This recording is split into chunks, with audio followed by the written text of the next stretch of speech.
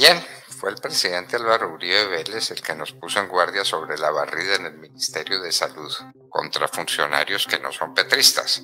¿Qué tiene que ver la salud con el petrismo? Es una cuestión eh, puramente técnica y científica.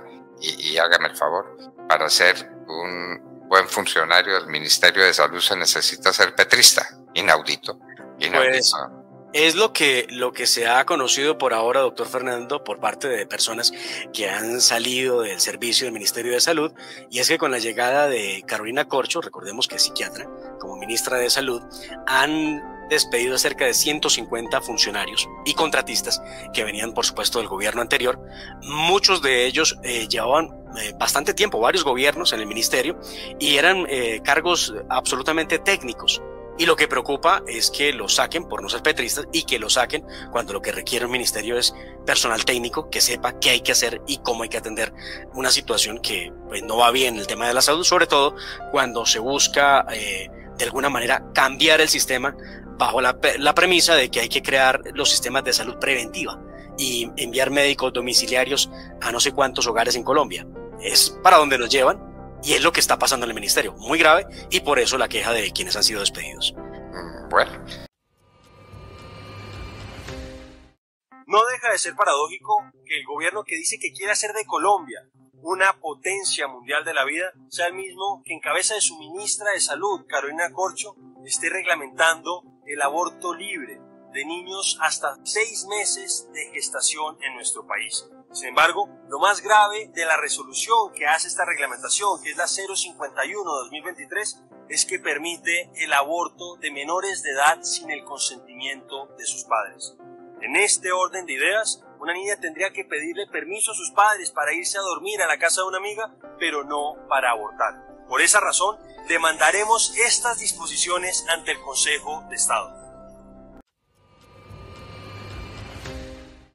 Aunque la ministra Carolina Corcho no ha querido someter al escrutinio público su proyecto de reforma al sistema de salud, desde ya está convocando marchas y organizando movilizaciones que respalden su propuesta.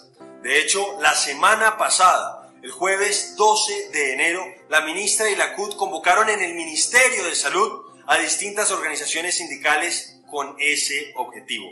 Por otro lado, la ministra ha construido su proyecto de reforma de manera excluyente y de manera hermética, de espaldas a la ciudadanía, al punto que numerosas organizaciones de pacientes decidieron elaborar un proyecto alternativo porque sintieron que no eran tenidos en cuenta.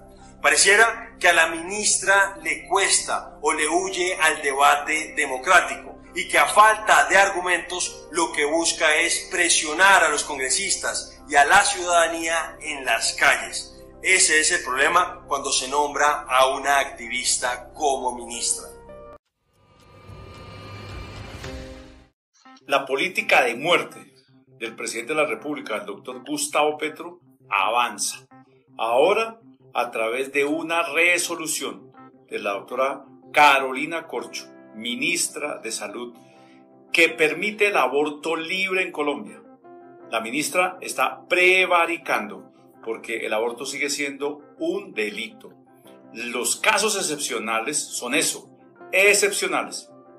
Ahora nuestras niñas pueden, según la resolución de la ministra, abortar libremente, sin los requisitos y también sin la aprobación de sus padres. Ahí está el doctor Gustavo Petro con su política de muerte. La resolución 051 que acaba de emitir el Ministerio de Salud es realmente alarmante. No solamente va contra todos los preceptos éticos y morales, al despenalizar el aborto tal como lo sugiere la Corte, hasta los seis meses de gestación, donde el bebé ya interactúa con la madre. Cuando está comprobado que desde las 12 semanas el bebé tiene formado su sistema nervioso, es un bebé que siente, sino que también aprueba el aborto en niñas desde los 14 años.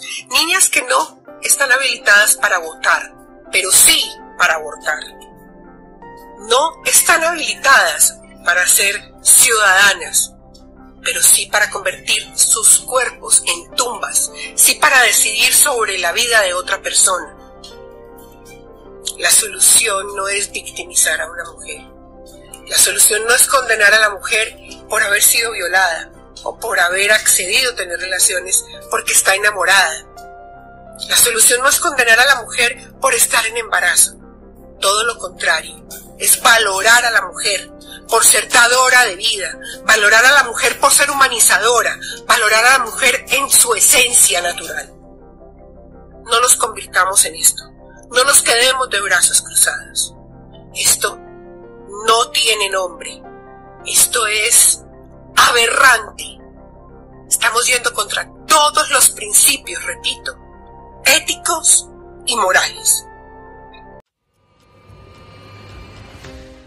Desde hace unas semanas, la ministra Carolina Corcho reinició su campaña de desprestigio contra el sistema de salud en Colombia. Y lo hizo, como es habitual en ella, difundiendo noticias falsas, información imprecisa, en este caso groseramente imprecisa. Y es que basada en un informe de la Superintendencia de Salud, la ministra se valió a decir que supuestamente las EPS activas en liquidación y ya liquidadas le adeudaban a los hospitales y clínicas de Colombia 50 billones de pesos, el equivalente a dos reformas tributarias. EPS nos dejan deudas que equivalen a más de dos reformas tributarias. Esta información falsa fue replicada en medios de comunicación, en redes sociales y hasta el propio presidente de la República, Gustavo Petro, le hizo eco en su cuenta de Twitter. Sin embargo, miembros de la sociedad civil que están familiarizados con el sistema de salud en Colombia cuestionaron estas cifras, al punto que el propio superintendente tuvo que sacar el día de hoy un comunicado donde reconoce que se pifió en 27 billones de pesos, que la deuda de las EPS con las clínicas y hospitales no es realmente de 50 billones, sino de 23 billones, como lo habíamos dicho en un debate a la ministra Corcho el pasado 9 de noviembre, donde además le dijimos que el 64% de esos 23 billones estaban en tiempos que eran cartera corriente que cuando usted revisa la composición de esa cartera, cuando usted revisa la edad de esa cartera, se da cuenta que el 64%, ministro, prácticamente 14.9 billones de pesos están en tiempos, hacen parte de la cartera corriente. Hasta ese momento, ni la ministra Corcho ni el superintendente Beltrán le han hecho eco a la rectificación de parte de la superintendencia y la ministra sigue sin borrar sus trinos mentirosos. Si van a hacer que el país discuta una reforma al sistema de salud, lo mínimo que cabe esperar es que haya rigor en la discusión, que haya datos ciertos, información precisa. Y por esa razón es inconcebible que estos dos funcionarios tan ligeros vayan a ser quienes lideren la discusión de esa reforma. De hecho, ante semejante escándalo, ante semejante salida en falso, ambos deberían dar un paso al costado y renunciar. Así sería, por lo menos, en un gobierno serio.